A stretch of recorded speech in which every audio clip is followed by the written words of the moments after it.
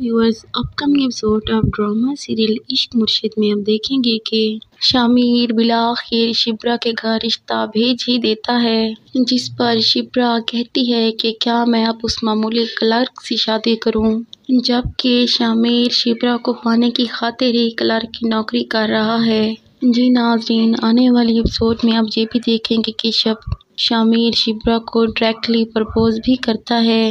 At the end अब देखेंगे कि शिप्रा को शमीर से मोहब्बत हो ही जाती है।